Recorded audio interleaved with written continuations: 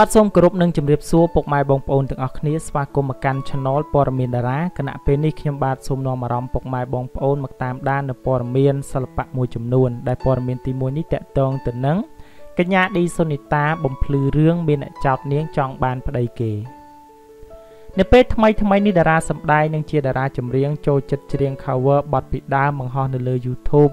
មានរៀងសឡូនស្អាតកញ្ញាឌីសុនីតាស្រាប់តែបង្ហើរសារហួសចិត្តមួយឃ្លា ដោយដាក់មន្ទិលសង្ស័យថារូបនាងចង់បានប្តីគេ តែរឿងរ៉ាវនោះត្រូវបានស្ងប់ទៅវិញហើយក្រោយពេលភាគីចោតប្រកាន់រូបនាងបានសម្រួលបញ្ចប់រឿងមួយនេះដោយសន្តិវិធីមកក៏ព្រោះតែត្រូវបានគេចោតប្រកាន់ស្រស់ស្រស់គ្មានហេតុផលច្បាស់លាស់តែសម័យខ្លួននោះក៏ដឹងខ្លួនទាន់ថែមទាំងសុំទោសគួបផ្សំតារាសម្ដែងស្រីដែលជាថកែហាងសំអាងការ និងហាងលក់ផលិតផលសំអាងកាយកញ្ញាឌីសូរិនតា ដែលមហាជនភ័យច្រើនស្គាល់នាងតាមរយៈការថតស្ពតសម្ដែងរួមគ្នា ជាតួ Pro and Sis ជាមួយនឹងតារាសម្ដែងប្រុសលោក Alex Sora នោះក៏ព្រមចិត្តត្រជាក់បញ្ចប់រឿងត្រឹមមួយនេះផងដែរតែរូបនាងក៏បានផ្ញើសារខ្លះដល់មនុស្សដែលចូលចិត្តម៉ៃមិនល្អឬសង្ស័យខ្វះការពិចារណាមកលើរូបនាងក្តីនិងអ្នកសិល្បៈផ្សេងទៀតក្តីជាពិសេសសិល្បៈករណីនៅមិនទាន់មានគូតែម្ដងរមែងរងទង្វើមិនសមរម្យនេះ ទើបធ្វើឲ្យរូបនាងបង្ហោះសារសង្ខេបសាច់រឿងដែលបានកើតមកលើខ្លួនទុកគ្រាន់ជាមេរៀនតបទៅវិញគណៈកញ្ញាឌីសុនីតាក៏បានបង្ហោះសារថាយីគេឆាតមកទាំងយប់ម៉ងវើយមុខប៉ុនអូនកដងនឹងអីចង់បានប្តីគេ ប្តីគៀនឹងជើងណែបើសម្រេចចិត្តថាយកមែនកដងអើយកដងប៉ះជន់ដានចោលហើយឯងមកអួតប្តីវិញលើនឹង តែមិនអីទេអាអ្នកឆាតមកនឹងវាស្រួលបួលដែរបើខ្លាំងដាក់មុននឹងមិនអីទេកដងមិនទុកដែរប្រុសប្រុសដែលមានប្រពន្ធហើយបើខ្លាចប្រពន្ធយល់ច្រឡំពេលឆាតមកហើយលុបចោលផងចាព្រោះប្រពន្ធសម័យឥឡូវណាមិនគិតរឿងឆាតមានន័យយ៉ាងម៉េចនោះទេឲ្យតែឃើញឆាតជាមួយស្រីដឹងតែដំបងហើយ យ៉ាងណាក៏ដោយនៅមិនទាន់មានការបញ្ជាក់ដឹងច្បាស់ថាជាអ្នកណាដែលចោតប្រកាន់នាងថាចង់បានប្តីគេនោះទេ ដោយសារខាងអ្នកចោតប្រកាន់បានបន្ទន់អេរិយាប័តទាន់ពេលវេលា ទំនងជាដឹងខ្លួនខុសនោះទើបរូបនាងមិនចង់គោះកកាយឲ្យវែងឆ្ងាយដោយស្រីស្រស់ឌីសុនតាបំភ្លឺថាព្រោះតែគេនិយាយស្រួលជាមួយខ្ញុំហើយរឿងមួយនោះជាចំនួនក្តីសៅមងរួចទៅហើយទើបខ្ញុំមិននិយាយអ្វីទៀត ប្រសិនបើនិយាយគឺវែងឆ្ងាយខ្លាំងណាស់បងម្យ៉ាងទៀតប្រសិនបើរឿងមួយនេះគេមិនមកសម្របសម្រួលស្រួលបួលទេ នាងខ្ញុំក៏មិនសុខចិត្តឲ្យចប់ត្រឹមនេះដែរហើយស្រួលមិនស្រួលនាងខ្ញុំអាច live Facebook បរិយាយឲ្យណានៃផងដែរមិនមែនត្រឹមតែបកស្រាយជាមួយសារព័ត៌មាននោះទេ ចំពោះរឿងត្រូវគេចោទខ្ញុំគ្មានហេតុផលដូចនេះ បាទនេះគឺជារឿងហេតុមួយដែលឌីសូនីតាបានជួបប្រទះដោយសារតែស្ត្រីម្នាក់ទំនងជាបរោះរូបនោះឆាតមករកបាទឌីសូនីតាទើបបានជាប្រពន្ធបាទធ្វើការវាយប្រហារទៅកាន់ឌីសូនីតាថា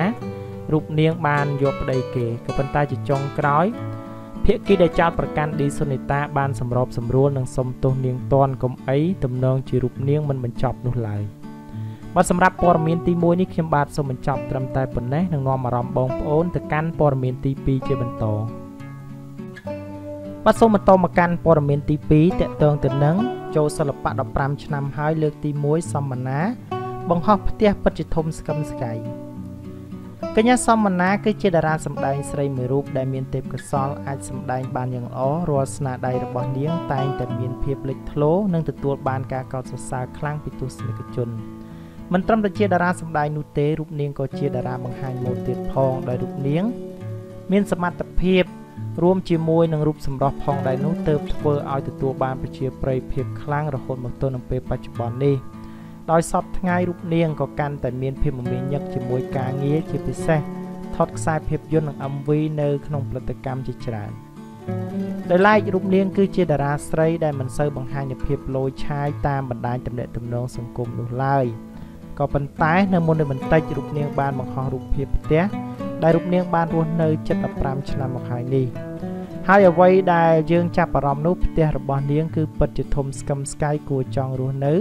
តែពេលនេះរូបនាងត្រូវការជួសជុលកែលម្អនិងតុបតែងឲ្យបានស្អាតជាងមុនបាទនេះគឺជាលើកទី1ហើយដែលសំបណ្ណាបានបង្ហាញផ្ទះវិឡាដ៏ធំស្កឹមស្កៃរបស់នាងបន្ទាប់ពីចូលប្រឡូកនៅក្នុងវិថីសិល្បៈរយៈពេល15ឆ្នាំ ហើយទទួលបាននូវការស្ងើចសរសើរពីបណ្ដា fan fan ជាច្រើនបាទសម្រាប់ព័ត៌មានទី2នេះខ្ញុំបាទសូមបញ្ចប់ត្រឹមតែប៉ុណ្ណេះនឹងនាំអារម្មណ៍បងប្អូនទៅកាន់ព័ត៌មានបន្តបាទសូមបន្តមកកាន់ជាមួយនឹងព័ត៌មានទី3តកតងជាមួយនឹងនាងលំអងនៅក្នុងរឿងរាជិនីភូមិគ្រឹះគឺកញ្ញាកៅសុបញ្ញានិយាយអំពី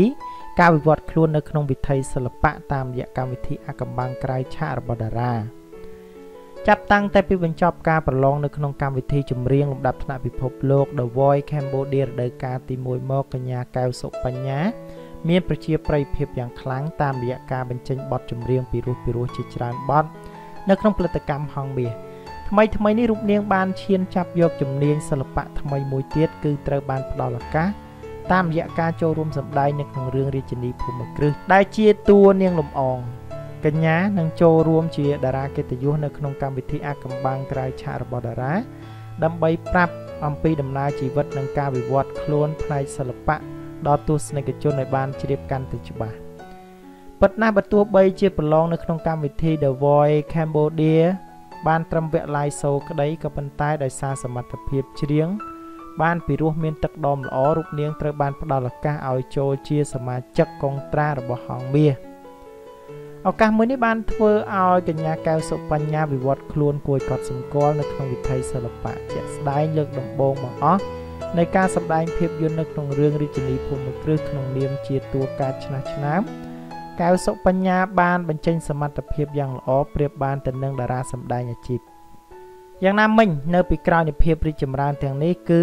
มันអត់នោះឡើយភាពលំបាកការតស៊ូនិងឧបសគ្គនានាដែលតារាស្រីរូបនេះបានឆ្លងកាត់ រាល់អាកំបាំងទាំងអស់នេះកញ្ញាកែវសុបញ្ញានឹងមកបង្ហាញដល់ទស្សនិកជនតាមរយៈកម្មវិធីអាកំបាំងក្រៅឆាករបស់តារា នៅថ្ងៃសៅរ៍ចុងសប្តាហ៍នេះកម្មវិធីនេះនឹងធ្វើការផ្សាយនៅកញ្ចក់ទូរទស្សន៍ Fresh New និងខ្មែរ Talking នៅថ្ងៃទី9ខែសុភាឆ្នាំ2020នៅវេលាម៉ោង7:00នាទីដល់ម៉ោង8:00នាទីយប់ បាទដូច្នេះសម្រាប់ព័ត៌មានទី3ខ្ញុំបាទសូមបញ្ចប់ត្រឹមតែប៉ុណ្ណេះនឹងនាំអារម្មណ៍បងប្អូនទៅកាន់ព័ត៌មានទី4ជាបន្តបាទសូមបន្តមកកាន់ព័ត៌មានទី4តកតងទៅនឹងរំលឹកអតីតកាលដែលលោកសោមដូរ៉េមនឹកស្មានថាខ្លួនក្លាយទៅជាអ្នកនិពន្ធល្បីម្នាក់ដោយសពថ្ងៃលោកសោមដូរ៉េបានវិវត្តខ្លួនពីអ្នកចូលចិត្តស្ដាប់ចម្រៀងមកជាអ្នកនិពន្ធនិងដឹកនាំល្បីឈ្មោះនៅក្នុងចង្កោមយុវជននាសម័យបច្ចុប្បន្ននេះ។ ក៏ប៉ុន្តែបើយើងក៏លេចទៅមើលអតីតកាលគឺពិតជារឿងហួសចិត្តដែលរូបលោកបានមកកាន់ចំណុចមួយនេះស្ថានភាពនៅពេលនោះសូម្បីតែសម័យខ្លួនក៏ប្រាប់ថាហួសចិត្តដែរលោកបានថ្លែងថានិយាយទៅវាជារឿងអស់សំណាយខ្លាំងណាស់ហើយក៏ជារឿងហួសចិត្តតែម្ដង លោកដូរ៉េបានប្រាប់ថាដើមឡើយរូបលោកគ្រាន់តែជាបុគ្គលដែលស្រឡាញ់និងចូលចិត្តស្ដាប់បទចម្រៀងពិសេសគឺបទចម្រៀងរបស់ហងមាសលោកតែងតែទិញ ស្ទើរតែរាល់ឌីសចម្រៀងរបស់ផលិតកម្មមួយនេះនៅពេលចេញថ្មីអ្នកនិពន្ធល្បីឈ្មោះនៅក្នុងចង្កោមយុវវ័យរៀបរាប់ឲ្យដឹងថានៅកំឡុងឆ្នាំ2009ពេលនោះលោកនៅមិនទាន់បានទាំងរៀនចប់ផងក៏ប៉ុន្តែអាស្រ័យថាឱកាសបានមកដល់ទៅហើយលោកបានក្លាយទៅជាអ្នកនិពន្ធបទចម្រៀងឲ្យហងមាសតែម្ដងជាអ្នកចូលចិត្តស្ដាប់បទចម្រៀងហងមាស មានពេលមួយលោកគ្រាន់តែបានជួបនិងស្គាល់គ្នាជាមួយនឹងតារាចម្រៀងពេជ្រសុភាដោយមើលឃើញពីនិស័យនិងទេពកោសល្យរបស់លោកតារាចម្រៀងស្រីបានត្រួសត្រាយផ្លូវឲ្យជួបជាមួយនឹងថកែហងមាសលោកអឹងសុកលៀបលោកថកែក៏បានផ្ដល់ឱកាសឲ្យរូបលោកសាកល្បងសមត្ថភាពនិពន្ធបទចម្រៀងហើយក្រោយមកថកែក៏ពេញចិត្តដោយសារតែលោកមានសមត្ថភាពពិសេសមួយ ការនឹងដោយសារតែខ្ញុំចេះគូ storyboard ទើបខ្ញុំអាចជ្រែកឱកាសនេះបានដោយគូ storyboard sport ពាណិជ្ជកម្មជាច្រើនហើយក្រោយមកខ្ញុំជ្រៀតទៅផ្នែកនិពន្ធទៀតនិយាយទៅខំណាស់បង តែថកែគាត់អ្នកសាងមកខ្ញុំ បើគាត់មិនអោយខ្ញុំសាក់នោះទេក៏ខ្ញុំគ្មានថ្ងៃនេះដែរលោកសោមដូរ៉េក៏បានចូលរួមជាមួយនឹងផលិតកម្មហងមាសនៅឆ្នាំ2010ហើយលោកបានសាងស្នាដៃតាមរយៈការនិពន្ធបទចម្រៀងជាច្រើន ពោពេញទៅដោយភាពពេញនិយមនៅក្នុងចង្កោមយុវវ័យនៅក្នុងចំណោមនោះ មានដូចជាបទចម្រៀងសង្សារលេងលេងសង្សារផ្ទាល់ខ្លួន និងកូនក្រមុំបងគ្រាន់តែជាមនុស្សធម្មតាជាដើមក្រៅពីស្នាដៃចាប់ផ្ដើមមានការទទួលស្គាល់លោកក៏ត្រូវបានផលិតកម្មជាច្រើនតាក់ទងហើយក៏ជាពេលដែលរូបលោកបានសម្រេចចិត្តមួយធ្វើឲ្យរូបលោកមានវិបដិសារីដល់សពថ្ងៃ